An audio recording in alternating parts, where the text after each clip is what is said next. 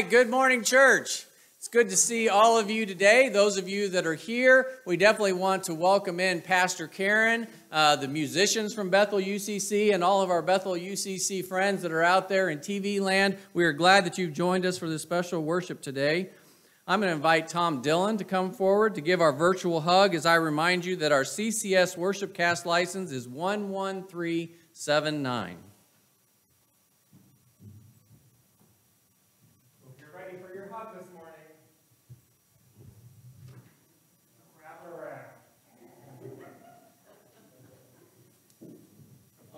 Fantastic. Uh, a reminder for those of you at Southwood that uh, I'm going to be here on Wednesday night from 6:30 to 7:30. If you'd like to come up for a time of chat, uh, if it's warm, we may well be outside or we'll be in the fellowship hall.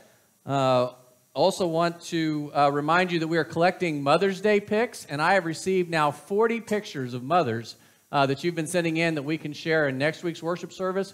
Tomorrow is the last day to send those in. So send in your picture of a mother today or tomorrow, and we'll get that as part of our worship next week. Karen, do you have any announcements for Bethel today? I do have a few. It's great to be here. I love it with Michael and I and You have you have to be on the microphone. I got to be on the microphone. Okay. I love it when uh, Michael and I and Southwood and Bethel can uh, combine our worship. So this is very special. So uh, for Bethel, as we always say every every week, no matter where you are on life's journey. You're always welcome here. Uh, I want to remind you, we again thank you for your gifts, and you can give to Tithely, you can mail it in. Uh, that's wonderful. We are also, uh, next week for Mother's Day, we're meeting outside, so uh, I would like you to send a quote about your mother that we can read uh, outside since we won't have a screen or anything. So be ready for that on Mother's Day. And I think we're ready to start our worship. So thanks, Michael. All right.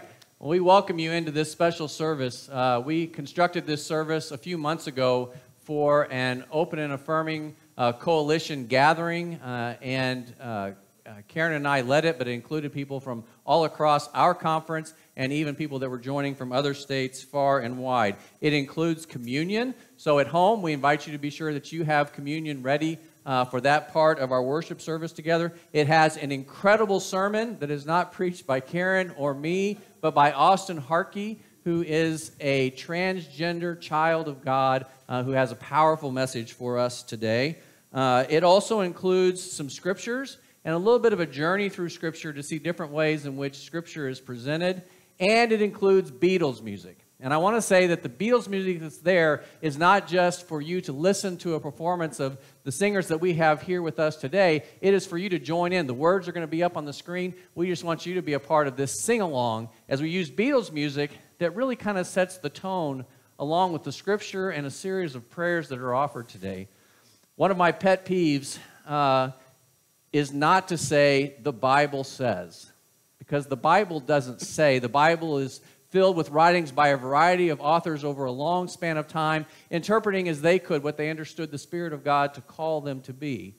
And sometimes they got it absolutely wrong, especially for our time, but they may have gotten it absolutely wrong in their time. Our first scripture reading today comes from Deuteronomy chapter 23. And I don't really want this scripture read, and I certainly don't want to be the one to read it. But it's the kind of scriptures that are maybe being read in other churches and other places as a way to talk about how God understands the LGBTQ community. You have to understand that eunuch is a signifier, uh, both in the Old Testament times and in the New Testament times, for a whole group of people that were understood to be sexually different in one form or another. So when you hear eunuch, don't think of one specific thing, but think of a whole umbrella of categories of peoples. So we're going to start with Deuteronomy chapter 23, understanding that this is a very difficult scripture.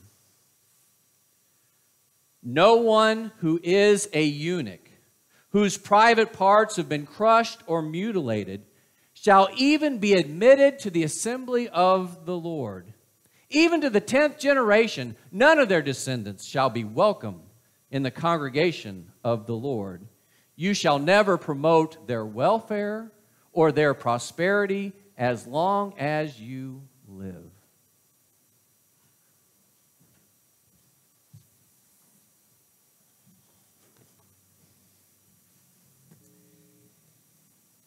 Please join with me in a prayer of confession and lamentation. O God, in the silence, hear our prayers as we, the oppressed, name the ways the church has too often been a place of not just exclusion, but also attack against us, your children.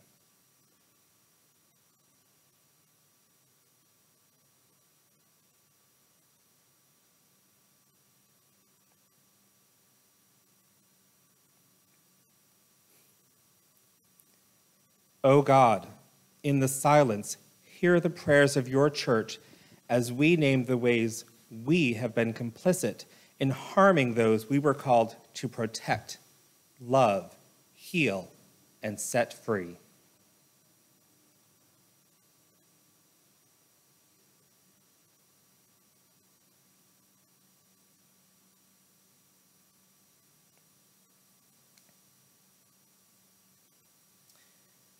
O God of grace, may forgiveness come with new wisdom for a new day. Renew your church to be the bearers of your vision and your dream of welcome and affirmation, and continue to call forth leaders of every identity to help us find our way.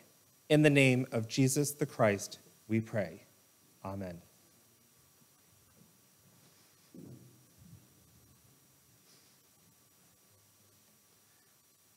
out of the pain and struggle of this opening to worship, our first Beatles song is Blackbird. It was written by Paul McCartney in response to images on the telly of integration in the United States, which also included struggle and pain, with the phrase, You were made to fly.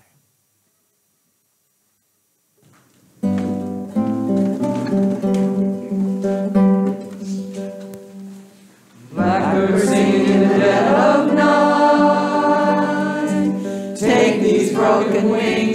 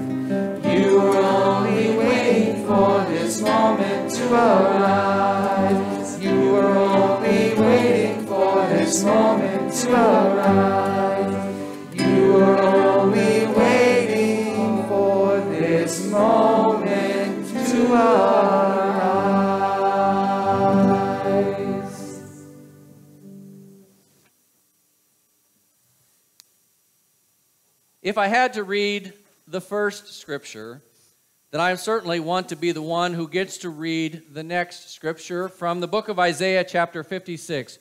Note the absolute reversal from Deuteronomy as the prophet speaks.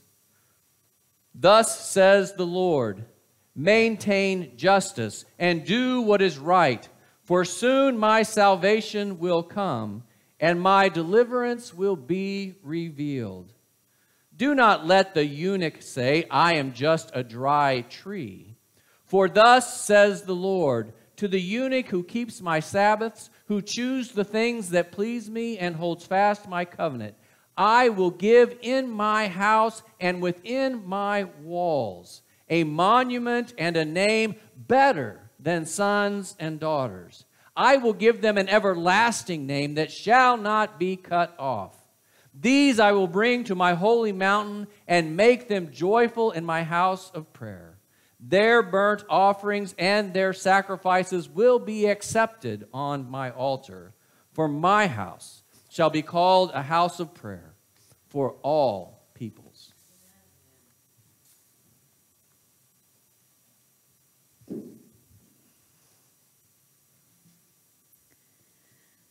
Please join with me in a prayer of dignity and belonging. O God of all creation, just as you created day and night, not as dual opposites, but part of a spectrum, including dawn, dusk, noonday, and twilight, so also you created us, male and female, in your image, not as dual opposites, but part of a wondrous spectrum of genders. We are all your beloved children, with hopes and gifts and dreams. Dry the tears of our downtrodden spirits and help us to scour the highways and byways so that all may join our band of parade and of protest. Shake the foundations of your church so that all may enter, all may be welcome, all may dance, and all may belong. Hear our prayer in the name of the Christ, who embraced the wondrous differences of the human family you have created. Amen.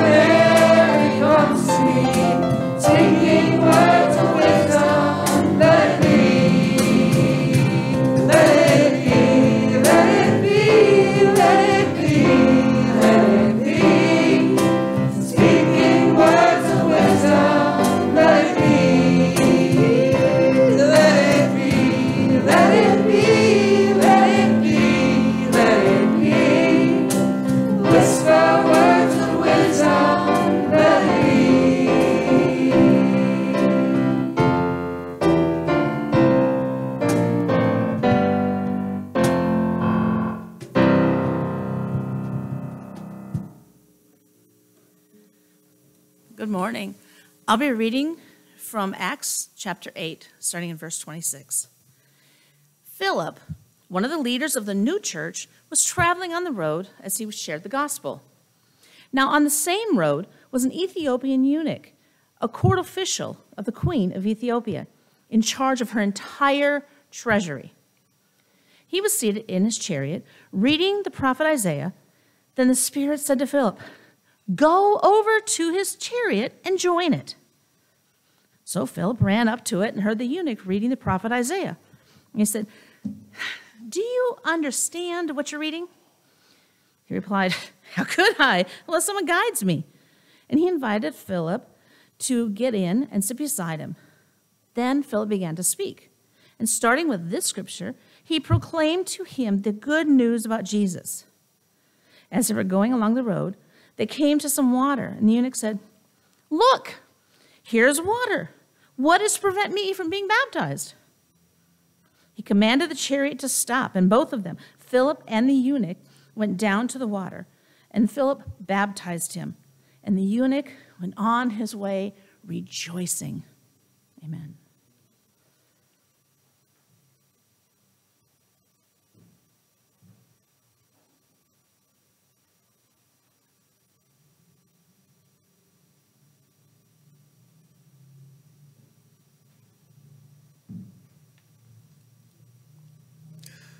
Please join me in a prayer of hope and possibility.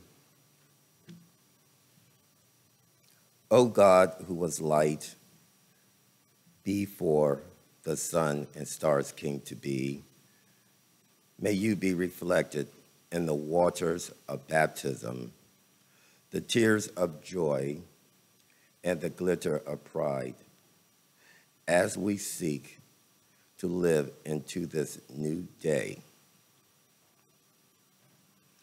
Let the storms give way to rainbows and renew your church to be once again a shelter for the least of these, a home for the disowned,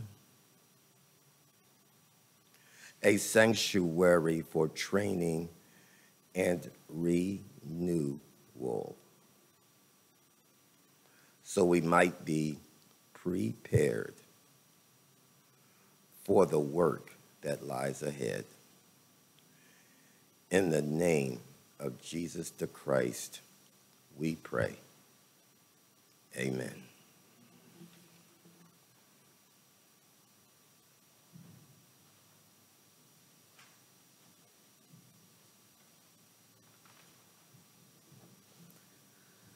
What a blessing it is to introduce today our preacher, Austin Hartke. And I want to just tell you a little bit about him. He has a YouTube series called Transgender and Christian, and a book called Transforming The Bible and the Lives of Transgender Christians. Austin is a graduate of Luther Seminary's Master of Arts program in Hebrew Bible Studies and was the winner of the 2014 John Milton Prize that was offered there at that uh, college. And this was in Old Testament writing. He has spoken at conferences all over the country, including events for the Reformation Project, Gender Spectrum, Wild Goose, Q Christian Fellowship, the Philadelphia Transgender Health Conference, and the Why Christian Conference. As a transgender person of faith, Austin's greatest passion is helping other trans and gender nonconforming people to see themselves in the scriptures. So today, we welcome Austin Hartke. Hello, friends. I am so thankful and grateful to the uh, ONA Convocation team for inviting me to come speak today. I'm going to be praying for you all through this very important weekend. The center of today's story is the Ethiopian eunuch's question What is to prevent me? As a bisexual and transgender Christian, my story has been shaped by that very same question. I grew up in non denominational evangelical churches that taught that Scripture should be read literally and from the King James Bible whenever possible. My parents and the communities I grew up in wove Scripture into my bones as I grew. I was homeschooled up through most of middle school, and I'd practice my handwriting by copying out Bible verses. I listened to cassette tapes of Bible stories to fall asleep at night. I'd memorize Bible verses to recite at Awana meetings every Wednesday in the hope of winning a new drill badge. Scripture was the foundation I was taught to stand on, but it was also the water I found myself sinking in as I grew up and started asking questions. I'd hear a focus on the family program talking about how the HIV AIDS epidemic was God's punishment on gay folks, or I'd hear a pastor talking about how we all sin, but that same gender relationships were a special kind that was just as bad as murder.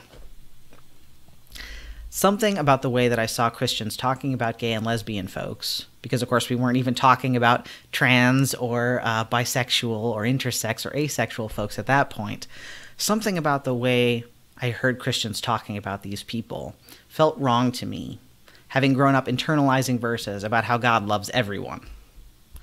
I'd think about 1 John 4 16 and 18. God is love, and those who abide in love abide in God, and God abides in them. There is no fear in love, but perfect love casts out fear, for fear has to do with punishment. I think about Romans 8 28 and 29. For I'm convinced that neither death, nor life, nor angels, nor rulers, nor anything present, nor things to come, nor powers, nor height, nor depth, nor anything else in all creation will be able to separate us from the love of God in Christ Jesus our Lord. I remember practicing those two verses over and over because I'd always get the order mixed up, and I still do sometimes. But when you raise a kid on that understanding of God, and then you tell them that there's one exception, that God hates it when you love the wrong person and will cast you out if you do, well, you're bound to feel a little bit confused. So, I was trying to hold all this together on my way into high school when suddenly the whole mental exercise became a lot less theoretical because I fell in love with my best friend who was a girl. Now, I was assigned female at birth, so for the first 24 years of my life, everyone around me thought I was a girl too, uh, and that meant that my being into my female best friend was a definite problem. This was the point when everything kind of hit the fan because when I thought about the question, what is to prevent me from being myself and loving who I love and being a Christian, the answer didn't seem to be God. Despite being told that God would hate me for who I loved, that just didn't make sense to me given what I knew about God. So that wasn't my problem. The thing that was preventing me from being able to hold both my sexual orientation and my faith was the church. They kept telling me I had to choose, and that decision would either cost me my health and my honesty and my relationships, or it would cost me my salvation.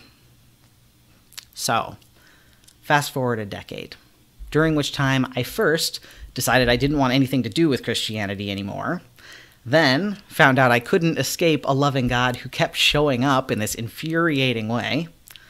And finally, I decided to go to seminary to try to shake some answers out of the pastors and professors there. I started school at a Lutheran seminary as a fully out bisexual person, and as I worked on deconstructing and reconstructing my faith in that setting, I started to feel like I was figuring it out. As it turned out, though, there was this one box left in the back of my closet that I hadn't unpacked yet, and it was this big, scary, spiky box labeled gender. Coming out the first time had been so difficult that the idea of doing it again felt ridiculous. Everything in me wanted to just keep shoving things into that box and pretending that it wasn't there, just like I'd done my entire life. Sure, I'd done the work to understand how I could hold my sexuality and my faith together, I knew how to break down the Sodom and Gomorrah story and the Leviticus texts, but I'd never even heard of a transgender Christian, and I had no idea how to interface with the disgust and the horror that other Christians seem to direct towards trans people. And yet, the longer that I tried to hold that gender box shut, the worse things got. I knew I was a guy, and I'd known it since I was a kid. And the thing about being in a seminary program where everyone is constantly talking about authenticity and close relationships with God is that hiding a part of yourself behind a mask or a wall is a lot of work. Eventually, I just couldn't do it anymore. Yet again, I was asking this question what is to prevent me from being myself and also being a Christian? This is where I want to turn us back to our story in Acts chapter 8, because this is part of where I found my answer. This story begins with an angel coming to tell Philip to go walk down the wilderness road between Jerusalem and Gaza. Philip was one of the early apostles who was sent out from the baby Christian church in Jerusalem, where Simon Peter and Jesus' brother James were in charge. The angel didn't tell Philip why he was supposed to go down this road or what he was going to be doing in the middle of nowhere, but he went. Meanwhile, scripture tells us another person is traveling the same road from Jerusalem back to Ethiopia. This person, whose name we never learn, had a lot of interesting identities. They were an African person from Ethiopia, someone who is quite different racially and ethnically from Philip's people. They were also a eunuch, which probably means that there was a person assigned male at birth who had been castrated. Eunuchs were common in the ancient world during this time and existed outside of the male and female binary that we're used to. Because these people were usually castrated before puberty, they didn't usually have the secondary sex characteristics you might expect of men, like low voices or facial hair. And Persian and Roman culture treated eunuchs as a third gender that weren't male or female.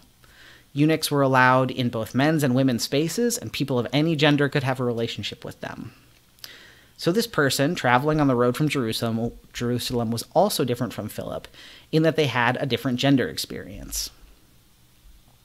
Lastly, the Ethiopian eunuch had an interesting religious identity because they don't appear to be Jewish, and yet they're reading from the Hebrew Bible, and they went all the way to Jerusalem to pray in the temple, which is a little weird. Scholars think this person was probably what folks in the New Testament would call a God-fearer, meaning that they weren't Jewish, but they worshipped the God of the Jewish people.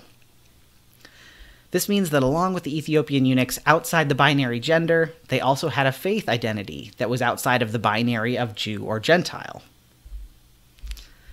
So, the Apostle Philip finds this person with all these middle space identities, smack dab in the wilderness the middle space between cities, where the usual rules of neighboring societies get sort of suspended.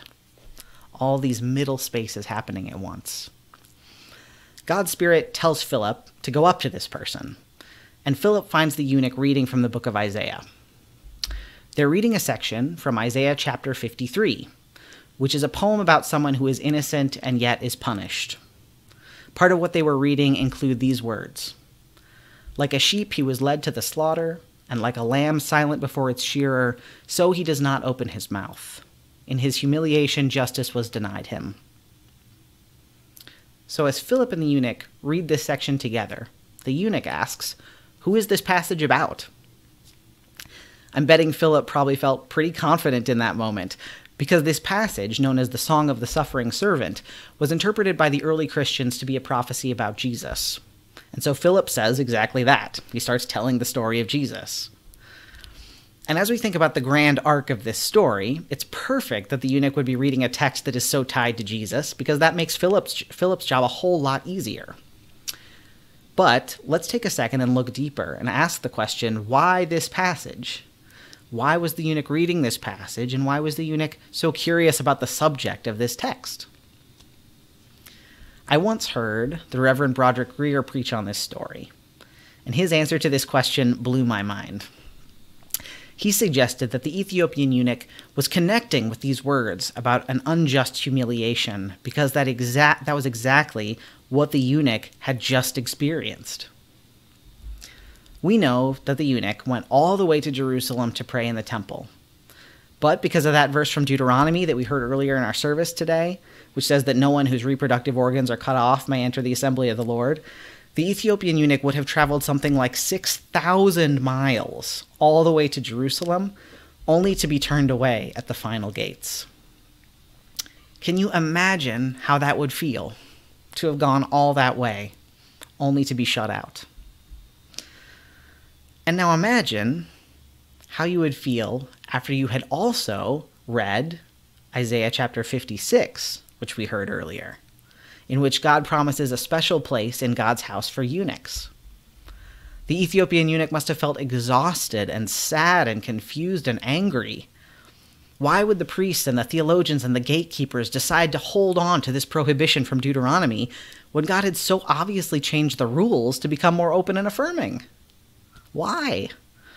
It must have felt like a huge injustice to know that God proclaimed you blessed exactly as you are, only to have the religious authorities bar you from the community and the holy places that you should have been invited into. By reading the story of the suffering servant, the Ethiopian eunuch was able to see themselves in Scripture, just as I was able to see myself in the Ethiopian eunuch thousands of years later. The Ethiopian eunuch and I are obviously different in a lot of ways, but we share this deep conviction that although we experience gender differently than other people, we are deeply loved and affirmed by the God of all creation, and we know that we belong in community. The task always is how do we find a community that believes that too? Thankfully, I didn't have to travel 6,000 miles to find a welcoming and affirming faith community. During my last year of seminary, I started going to a small church that rented space in a local retirement home, and I found a group of people who said definitively that I belonged. I went to church with this group of misfits for months before I began slowly sharing information about my gender journey, and by the time I graduated, I felt comfortable being myself with them. Although there were several people in the community who identified as gay or lesbian, the church hadn't had any out transgender people in the congregation before, but they were excited to learn and incredibly receptive to my concerns and my requests.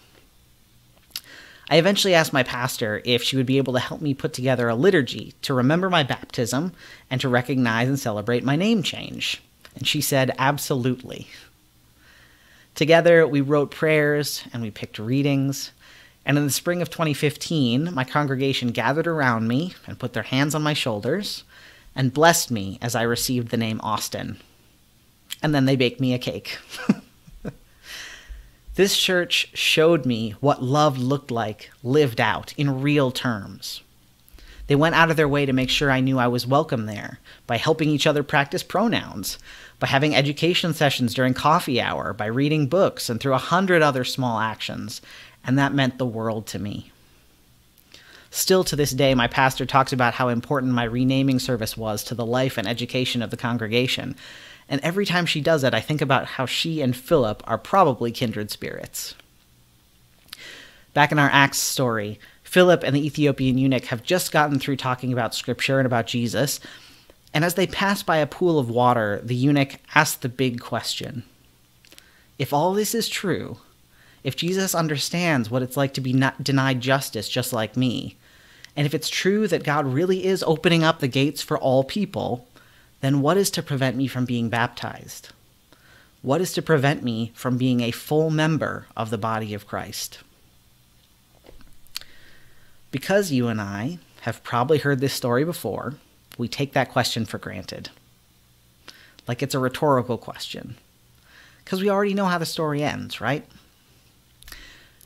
But this question about acceptance and affirmation wasn't asked lightly both Philip and the eunuch knew that Philip could have pointed to any number of problems and things that would get in the way.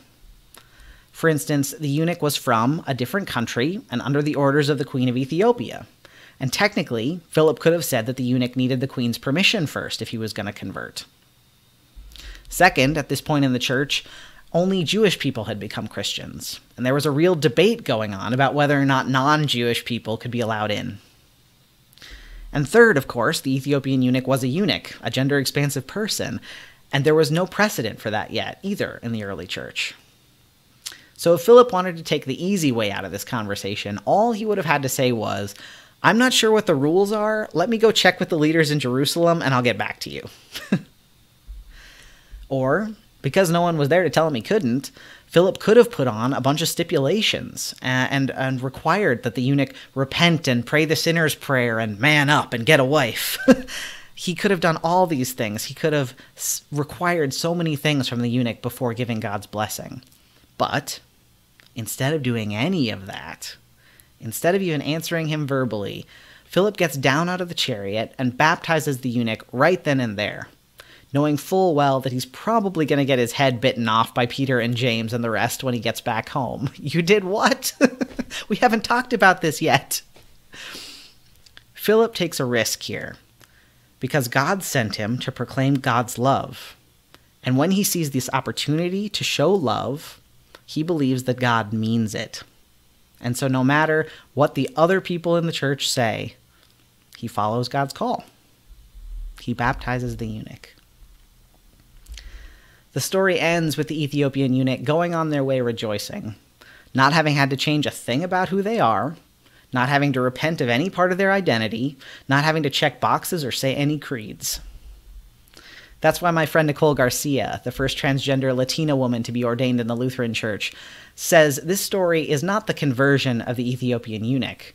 This story is called the conversion of Philip. Because the eunuch didn't have to change anything about themselves to be loved and accepted, but Philip had to change his ideas about the kind of people that God calls. And that story, friends, is part of the bedrock of our church.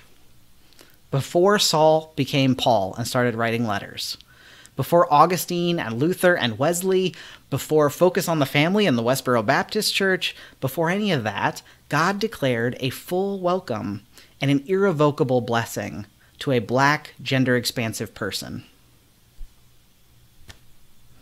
And yet, we're still here having conversations about whether our churches need to recognize and act on that fact.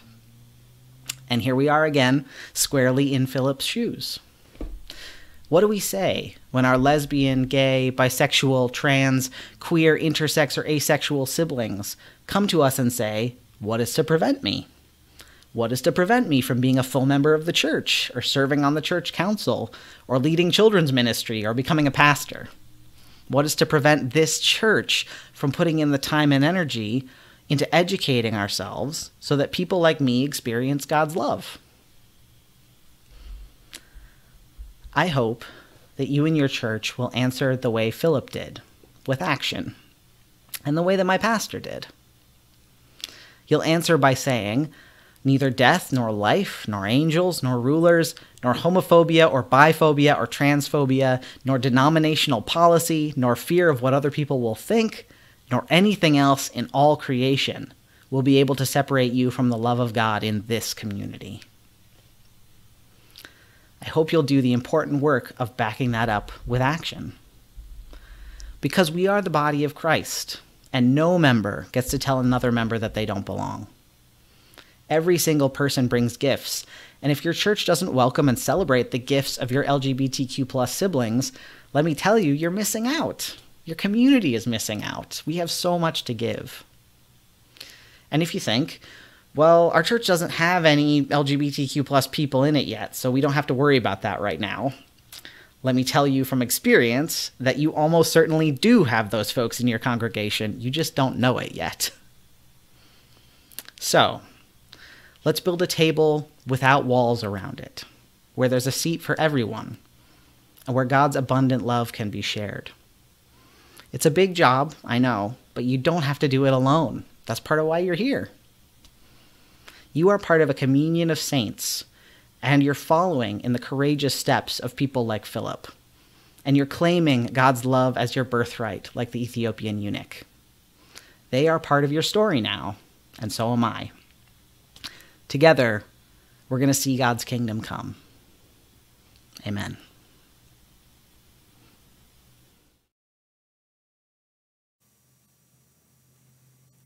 Please join with, join with me in prayer. Creator God, creating still, thank you for Austin's witness here in this place today. We thank you for the ways in which you confront us with the many splendored ways your human family is put together, encountering people who are different than us, different in gender, skin color, age, wealth, citizenship, sexual orientation, or identity. All remind us that our own personal experiences cannot become normative for all people. Each person becomes a fountain of your joy, your possibility, your love, and your spirit. We ask that you continually call us beyond ourselves to celebrate the richness of your human family. As we gather this day, we bring together joys and concerns that are near and far. Here at Southwood, we continue to hold in prayer Barb and Daryl Hoke as she recovers in Mississippi following extensive back surgery this week. For Jill McComas' brother Jim, who just had his fourth surgery in the last month for circulatory problems, Jill is with him providing care at this time in Tennessee. For Dana McDaniel's mom, Punky, who fell and broke several bones and will be rehabbing at John Knox. For Connie Gott's Meals on Wheels friend of the last five years, Wilhelmina, who at age 93 fell and broke her hip for Amanda Paulson's friend Jennifer's 16 year old daughter Emma, who is in a car accident and is starting to get some feeling returning to her legs. For Donna Waters' friend Karen, who has a long, slow recovery ahead of her following surgery. And Milt and Jane Fizzler Hoffman as they celebrate him taking a few steps this last week as he recovers from a stroke. Pastor Karen? Yes. Today I share a prayer that was uh, written by the Open and Affirming Coalition of the United Church of Christ as it continues to advocate for lesbian, gay, bisexual, transgender community in the United Church of Christ. So hear these words after hearing the message from Austin, they touch our hearts. Creator of us all, Holy One of many names, eternal love, we wonder at the care and joy manifest in your design and creation. You look at all you have created and call it good. We are amazed that in ways beyond our understanding, you formed humanity with the same joy and care that birthed the rest of creation. Southwood and Bethel, rejoice that each one of us is fearfully and wonderfully made in your divine image. We are gay, we are straight, we are lesbian, we are bisexual, we are transgender, we are cisgender, we are gender fluid. We have many names and labels for what we are. But we know that you call us by one name, beloved. Let us say it over and over and over again until we believe it. We are beloved, we are beloved, we are indeed beloved. We acknowledge that for many of your beloved children, especially those who are the LGBTQ, church communities have been places of shame and suffering rather than homes of sanctuary and safety. So help us to pick up the mantle of those who have gone before us in this liberation movement, that their hard work and their sacrifice might not be in vain. We are, all of us, called by love, for the sake of love, to be love in this faith community and in all the world. So continue to create us to be your beloved people. Today we pray for Southwood and Bethel as we continue the work of extravagant welcome. We pray for all those who are searching for a church community that opens their doors and invites them into full fellowship and leadership. We offer thanks for so much that has been accomplished and pray for courage as we continue the work of equality for all. Today we lift the prayers that have been mentioned from Southwood, and we hold in our hearts all of those that are in need in a need of comfort and prayer. And now we hear the prayer that Jesus taught us, the great teacher and liberator, one who shows us how to live extravagant welcome when we pray the Lord's Prayer. Our, Father, who art, in heaven, hallowed be thy name. Thy, kingdom come, thy, will be done on earth as it is in heaven. Give us this day our daily bread, and forgive us our sins as we forgive those who sin against us. And lead us not into temptation, but deliver us from evil. For thine is the kingdom, and the power, and the glory forever. Amen. Amen. May the Spirit of the living, risen Christ continue to stir among us this day, that it might give us the ability to no matter what our age, see visions and dream dreams to imagine, to imagine a new world that is possible.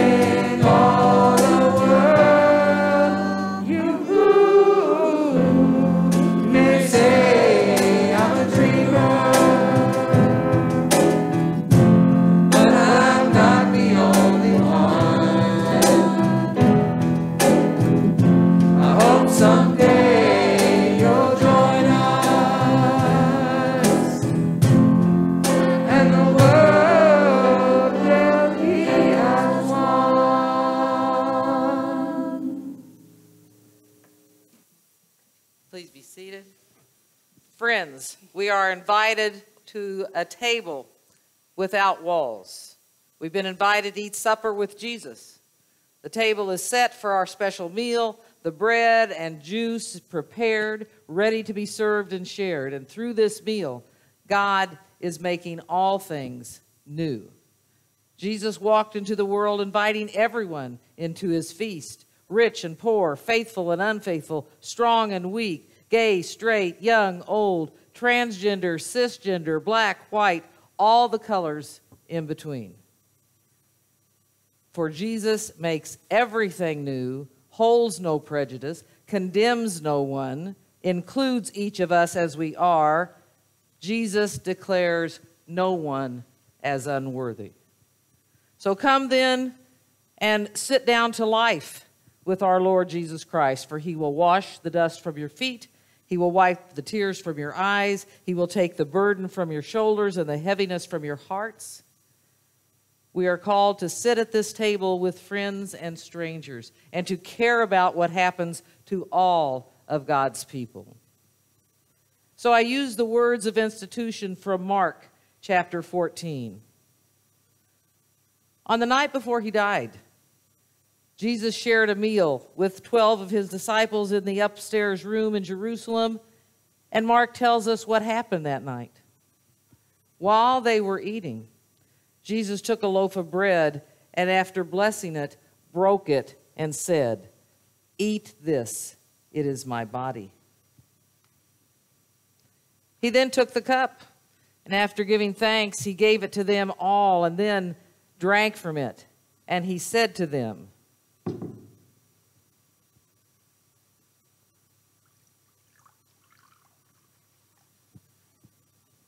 This is the blood of the new covenant, which is poured out for many. Following Jesus' example, we take this simple bread and juice, these ordinary things of life which Jesus makes special and meaningful. So let us say the blessing in one voice. The bread of our being loved, the grapes of our joy, stand as reminders that miracles in faith and risk continue to happen. In thanksgiving and remembrance, we ask you to bless this bread and juice, so that in sharing them together, we shall be your church. Amen.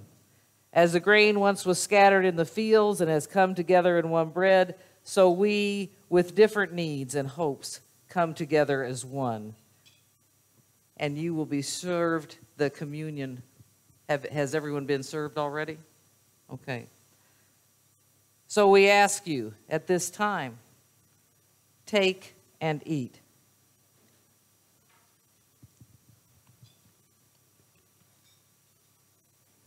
This is the bread of life.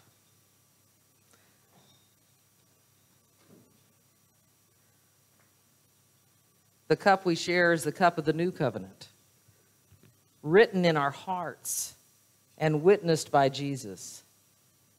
So take and drink the cup of new covenant.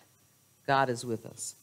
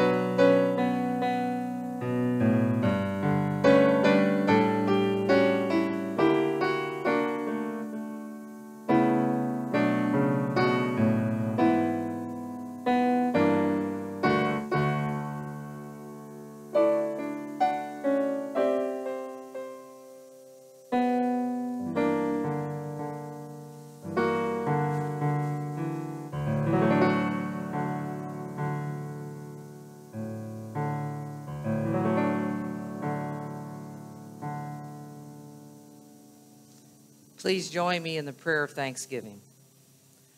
We thank you, God, for inviting us to this table where we have been renewed by your Spirit. Strengthen our faith, increase our love for one another, and let us spread your Spirit in this troubled world. We ask this through Jesus the Christ, the one who redeems us and shows us the way.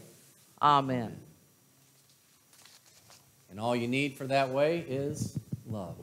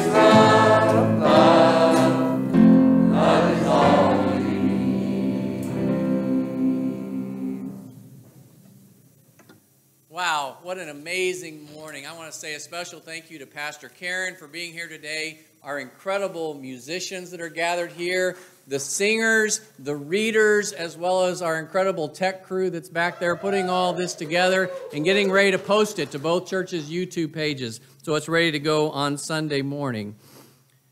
Want our friends at Bethel UCC to know that you are in our prayers as you enter into this time of transition.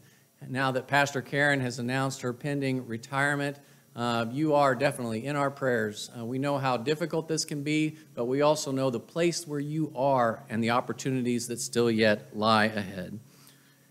Now, we invite you to go in the hope filled blessings of this day. Know that even if you sit by yourself in front of a computer, you are never alone. Go in peace. All you need is love. Amen.